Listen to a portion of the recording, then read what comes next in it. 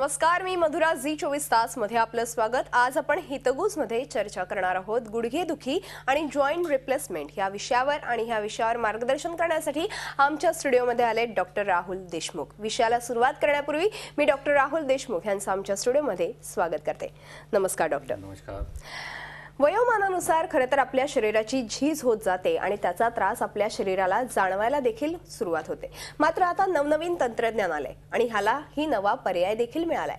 आणि अशाच एका पर्यायाविषयी आज आपण डॉक्टर राहुल यांच्याकडून अधिक जाणून घेणार आहोत. मात्र तत्पूर्वी मी डॉक्टर राहुल देशमुख यांची थोडक्यात ओळख करून देते. डॉक्टर राहुल देशमुख हे गेल्या दहा वर्षांपेक्षा अधिक काळ जॉईंट रिप्लेसमेंट सर्जन म्हणून मुंबईत कार्यरत आहेत. त्यांनी जॉईंट रिप्लेसमेंट या विषयाचं सखोल शिक्षण परदेशात जाऊन घेतलंय. ते सध्या बोरिवलीच्या ॲपेक्स हॉस्पिटल कांदिवलीतील ऑस्कर हॉस्पिटल आणि अमरावतीच्या हायटेक हॉस्पिटलमध्ये कार्यरत आहेत. तेव्हा डॉक्टरांच्या या दांडग्या अनुभवाविषयी आणि एकूणच जॉईंट रिप्लेसमेंटविषयी तुमच्या मनातले समज गैरसमज आज आपण ह्या चर्चेतून दूर करूया. मात्र तुम्हालाही काही शंका असतील किंवा प्रश्न असतील तर तुम्ही आमच्या टोल फ्री क्रमांक एक आठ शून्य शून्य दोन दोन एक शून्य एक शून्यवर संपर्क साधून त्यांना थेट प्रश्न विचारू शकता. तेव्हा लगेचच चर्चेला सुरुवात करूया. डॉक्टर पुन्हा एकदा स्वागत आहे. आणि आजचा आपला विषय आहे तो जॉईंट रिप्लेसमेंट संदर्भात. अर्थातच सांधे रोपण.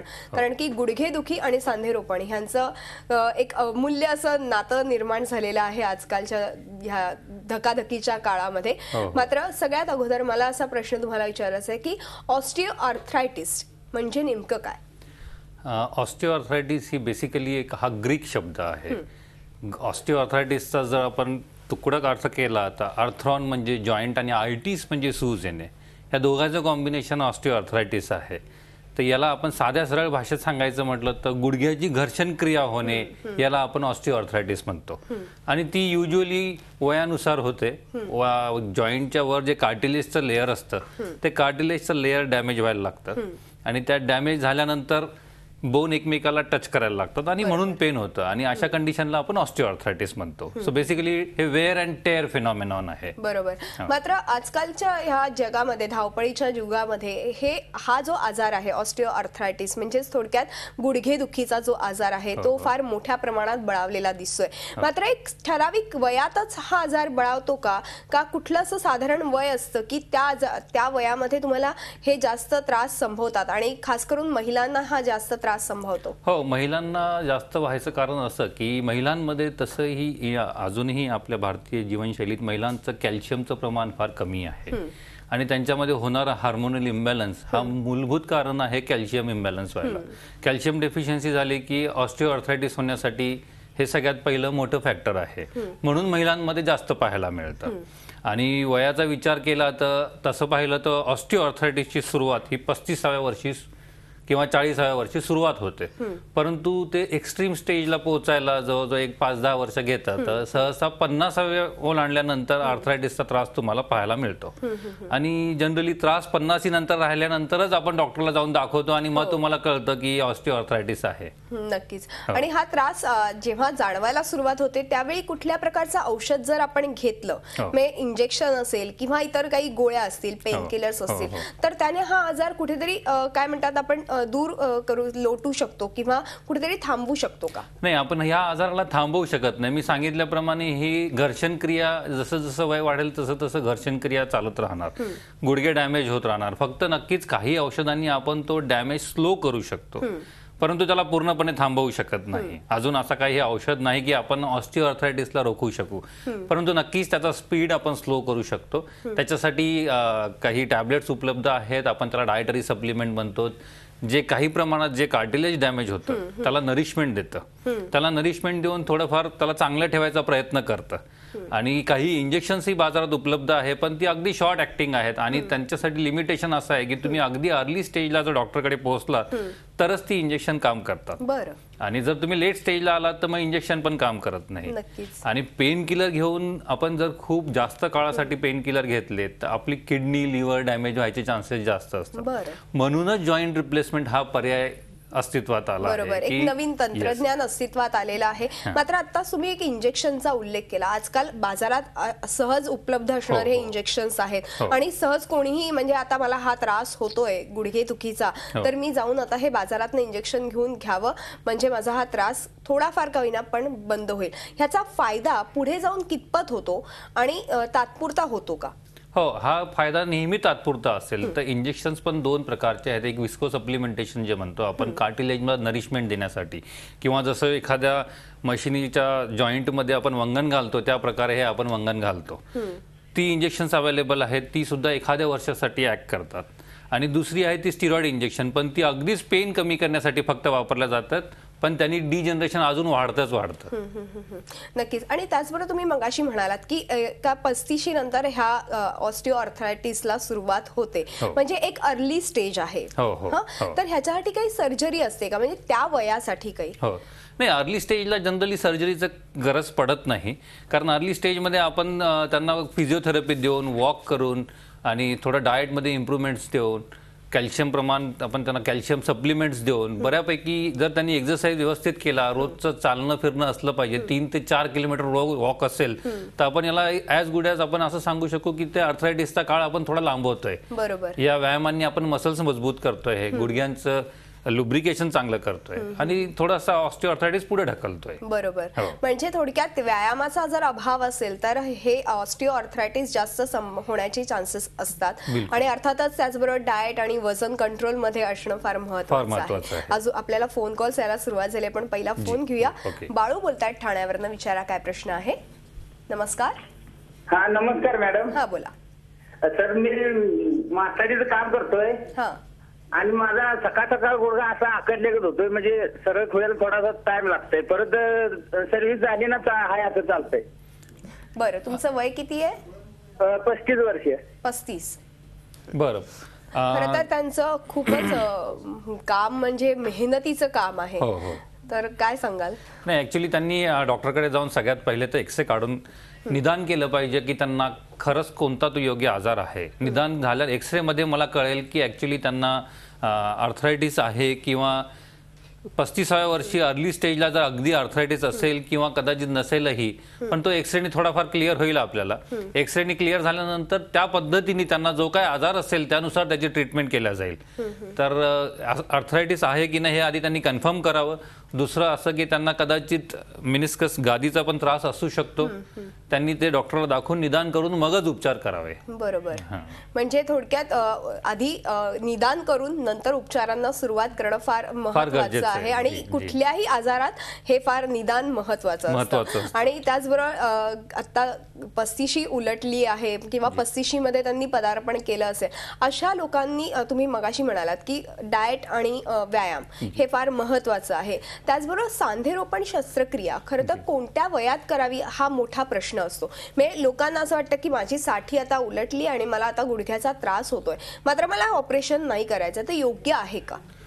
नाही कसं आहे की सांधेरोपण आपण शक्य तेवढं लेट करायचा प्रयत्न याच्यासाठी करतो की जो आम्ही सांधेरोपण करू किंवा जॉईंट रिप्लेसमेंट करू त्याचं एक विशिष्ट लाईफ असतं. पंधरा ते वीस वर्ष आम्ही बदललेला गुडघा चालतो. ओके तर त्याच्यामुळे आमचा प्रयत्न असतो की नेहमीच पंचावन्न वय ओलांडलं तर आपण करूया. पण जर पेन खूप जास्त असेल सिव्हिअर असेल तर मग आपण अशा वेळेस पन्नासच्या पुढे करू शकतो. परंतु आमचा प्रयत्न असतो पंचावन्न किंवा साठ वय क्रॉस केलेलं कधीही चांगलं. कारण त्यांना जॉईंटचा लाईफ पंधरा ते वीस वर्ष मिळतो पण असं नाही की पंधरा वीस वर्षानंतर काही उपाय नाही. परत आपण रिव्हिजन जॉईंट रिप्लेसमेंट करू शकतो. जर तुम्हाला आयुष्य मोठं असेल तर फारच चांगलं परत रिव्हिजन सर्जरी होऊ शकते त्याची. बरोबर. म्हणजे त्याचं साधारण एक ठराविक कृत्रिम सांधेरोपणचं आयुष्य पण ठरलेलं असतं. त्याची मर्यादा ठरलेली असते. जी. नक्कीच डॉक्टर आपल्याला अजून एक फोन आला आपण फोन घेऊया. ज्ञानेश्वर बोलतायत बुलढाण्यावरनं विचारा काय प्रश्न आहे. नमस्कार. तुमच्या टीव्हीचा आवाज कमी करा आणि थेट प्रश्न. विचारा. हा नमस्कार मॅडम मी ज्ञानेश्वर नमस्कार. बोलतो. ज्ञानेश्वर. दाखवते बुलढाण्याहून हा. बोला प्रश्न विचारा डॉक्टरांना. हा माझा प्रश्न असा आहे मॅडम माझा दोन वर्षापासून पाठीचा त्रास आहे. हा. हा, तर मी खूप प्रयत्न केले. हम्म. हा, मी एम आर ए केला सिटी स्कॅन केला पण माझ्या पाठीचा त्रास नाही राहिला. बरं. नक्कीच. तर त्याच्यावर उपाय काही सांगू शकता का? नक्कीच नक्कीच.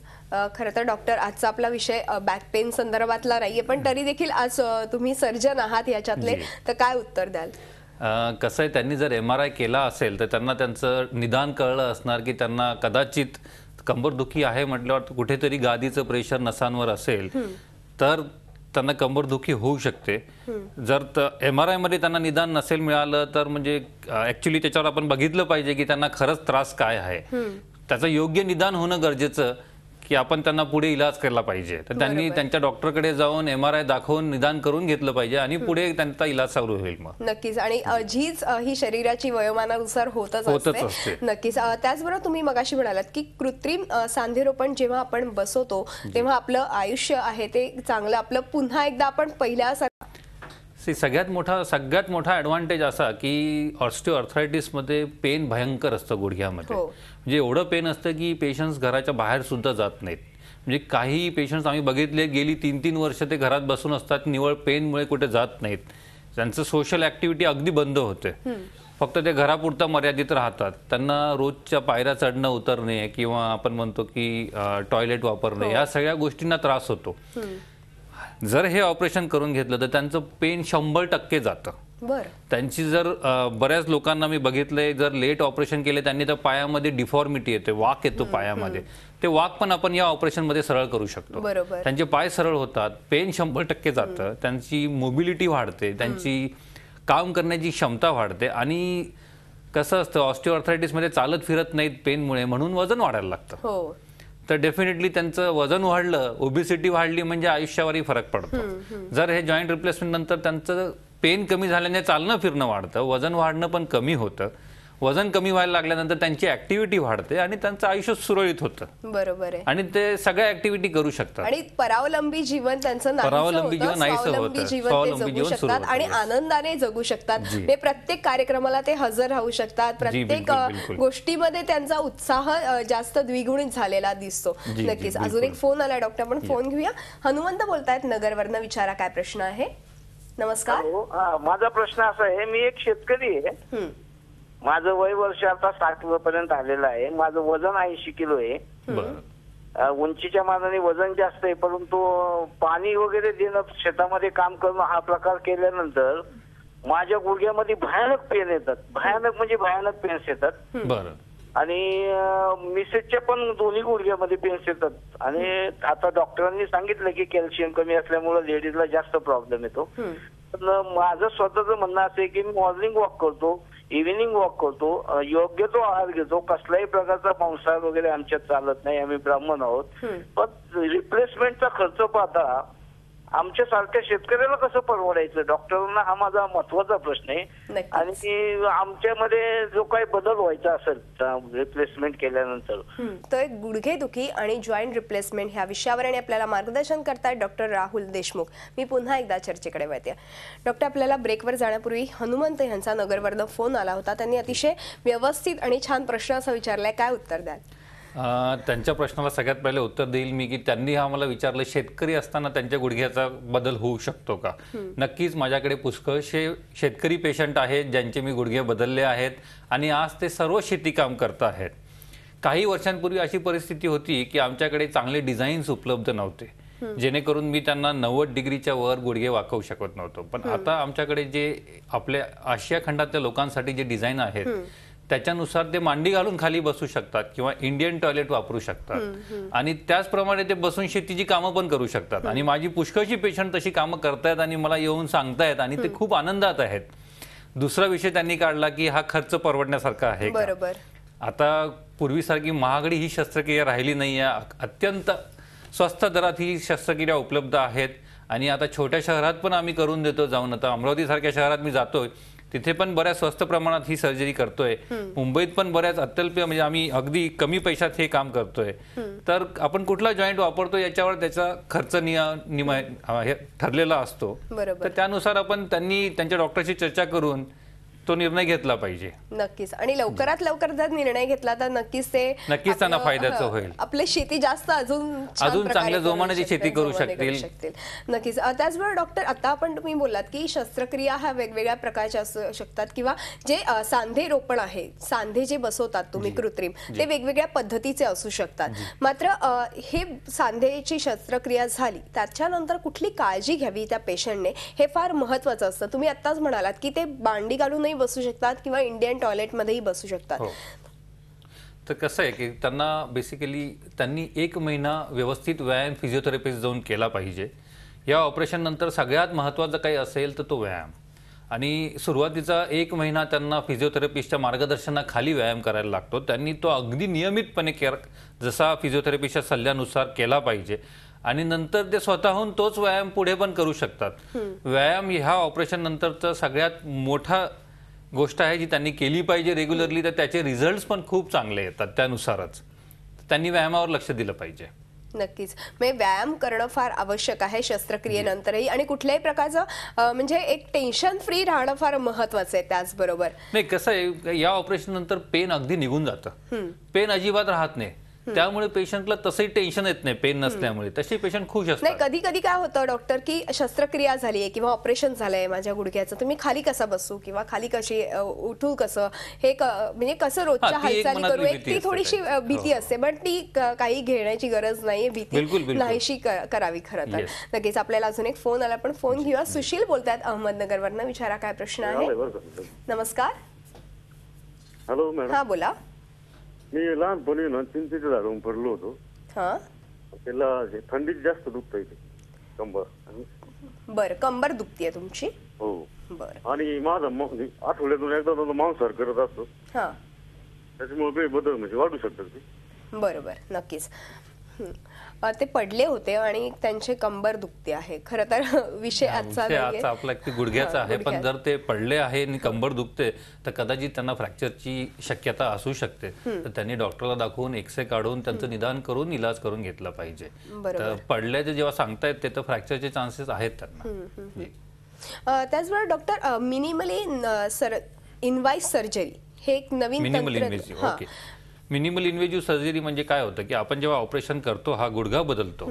त्याच्यामध्ये चिरफाड जी असते ती अगदी छोट्या प्रमाणात करतो आम्ही. त्याला आपण मिनिमल इन्व्हेजिव्ह करतो की वरनं तुम्हाला छोटासा स्कार दिसतो. जखम अगदी छोटी असते परंतु जॉईंट आत पूर्ण बदलला जातो. तर आजकाल नवीन इन्स्ट्रुमेंट्स उपलब्ध झालेली आहेत ज्याच्या साह्याने आपण तशी ऑपरेशन करू शकतो. जरी गुडघा बदलला तरी हार्डली एक सात ते आठ सेंटीमीटरचं इन्सिजर असतं. त्याच्यामध्ये हे ऑपरेशन लगेच आपण त्यांना असा मोठा स्कार दिसत नाही. त्याच्यामुळे त्यांना आपण मिनिमल इन्व्हेजिव्ह म्हणतो. की खूप जास्त चिरफाड न करता हा गुडघा बदलणे. बरं. म्हणजे थोडक्यात लेझर सारखं असतं का? नाही लेझर हा वेगळा प्रकार आहे. बेसिकली हा इन्सिजनची साईज असते. जेव्हा ऑपरेशनचं आपण सुरू करतो पूर्वी आम्ही जेव्हा ऑपरेशन करायचो त्याच्यामध्ये जवळजवळ पंधरा सेंटीमीटर वीस सेंटीमीटर फाडायला लागायचं. परंतु आता ह्या मिनिमल इन्व्हेजिव्हची जी आम्हाला सामग्री उपलब्ध झाली आहे त्याच्यानुसार आम्ही त्याला अगदी सात सेंटीमीटर आठ सेंटीमीटर इन्सिजन देऊन त्याच्या थ्रू काम करू शकतो. हा. होऊ त्याच्यामुळे. सॉफ्ट टिश्यूचं जास्त चिरफाड होत नाही.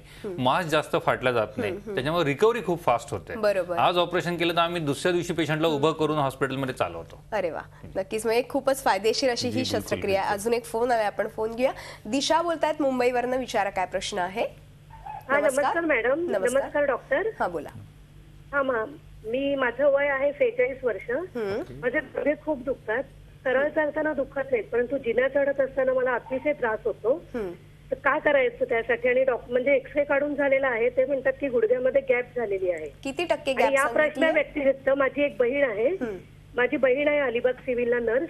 हॅलो? हा बोला. ऐकतोय. हा तर तिच्या गुडघ्यातलं वंगण संपलेलं आहे. तिला सुद्धा चालायला खूप त्रास होतो. मांडी घालू शकत नाही आणि नीट बसूही शकत नाही. आणि पेशाने ती नर्स आहे. बरं. तर तिने तिचं वय आहे अठ्ठेचाळीस तिने ऑपरेशन करावं की नाही करावं या वयाला? नक्कीच. माझ्या दोन्ही प्रश्नाला कृपया उत्तर द्या. नक्कीच. माझ्या गुडघ्यात गॅप आहे आणि तिचं वंगण संपलेलं आहे हो, गुडघ्यातील हो. खरं तर दिशा मॅडम यांच्या गुडघ्यामध्ये गॅप निर्माण झालेली आहे आणि त्यांचं वय आहे सेहेचाळीस. तर त्यांनी काय केलं पाहिजे? कारण की त्यांना फक्त चालताना काही प्रॉब्लेम होत नाही मात्र जिने चढ उतार करताना जास्त त्रास होतोय.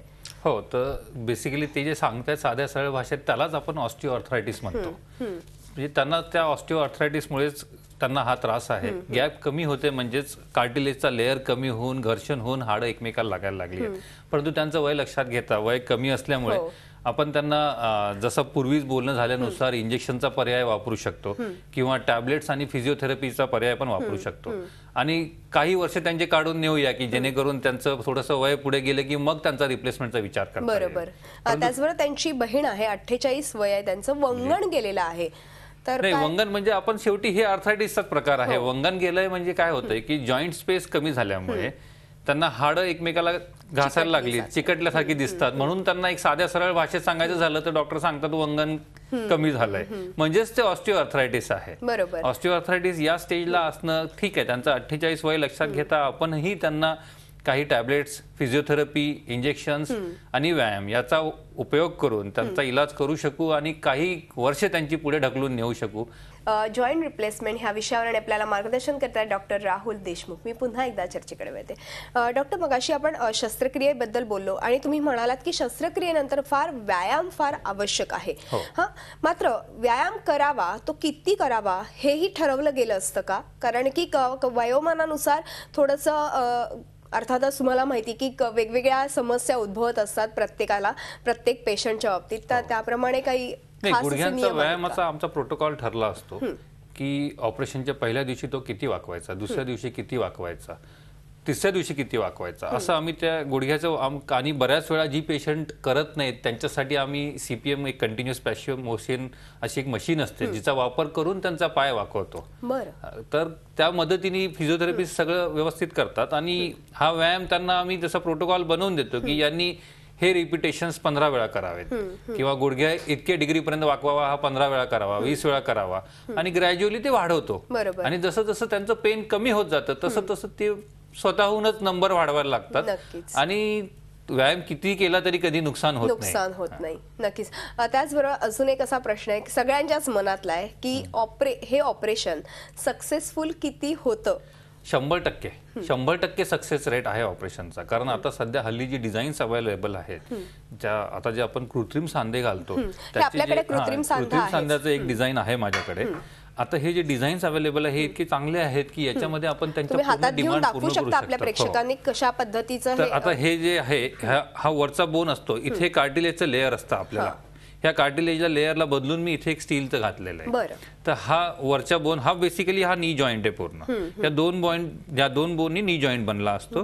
तर वरच्या लेअरला कार्टिलेज आम्ही शिलून खडून काढून टाकतो. आणि तिकडे स्टीलचा असं एक कृत्रिम अवयव बसवतो.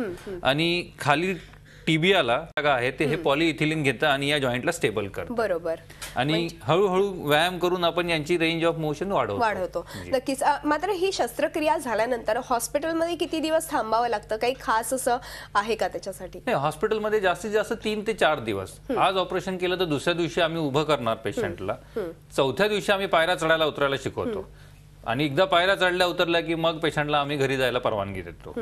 नंतर टाके काढण्यासाठी परत बाराव्या दिवशी पेशंट परत येतात. मग आम्ही टाके काढून त्यांचा मधल्या काळात फिजिओथेरपिस्ट त्यांना टेक ओव्हर करून व्यायाम करतात नक्कीच म्हणजे थोडक्यात ही शस्त्रक्रिया फार फायदेशीर आहे पुढील अख्खं आयुष्य आपलं जर एकदम आनंदित आणि उत्साहाने जगायचं असेल तर नक्कीच ही शस्त्रक्रिया करावी ज्यांना ऑस्टिओ ऑर्थरायटिस असेल त्यांना हो, हो. त्यांच्यासाठी जरूर, मात्र एक. शेवटचा आणि जाता आता असा प्रश्न विचारायचा आहे की तुम्ही काय सल्ला द्याल गुडघेदुखी असणाऱ्या पेशंट्सना गुडघेदुखी असणाऱ्या पेशंट्सला मी हे सांगेल की त्यांच्या या मनात जी भीती भरली आहे जॉईंट रिप्लेसमेंट विषयी किंवा प्रत्येकाला त्यांना खूप एक असं एक कुठेतरी इनिव्हिशन आहे की मला ती सर्जरी नाही करायची. आणि त्याच्यासाठी ते बऱ्याच काळासाठी पेन किलर घेत असतात. तर पेन किलर जास्त घेऊन किडनी लिव्हर हे सगळे डॅमेज होतात आणि त्याच्यामुळे त्यांना मग दुसरे प्रॉब्लेम्स चालू होतात. त्याच्यापेक्षा त्यांनी अगदी आनंदाने पुढे यावं आणि जॉईंट रिप्लेसमेंट करून घ्यावं. नक्कीच. याचा म्हणजे फायदा joint- त्यांना नक्कीच होणार. नक्कीच होणार. नक्कीच. अ, खरंच डॉक्टर तुम्ही आलात आणि खूप छान मार्गदर्शन केलं त्याबद्दल तुमचे मनपूर्वक धन्यवाद. धन्यवाद. हितगुजमध्ये आज आपण इथेच थांबतो. तुम्ही पाहत राहा झी चोवीस तास रहा एक पाऊल पुढे.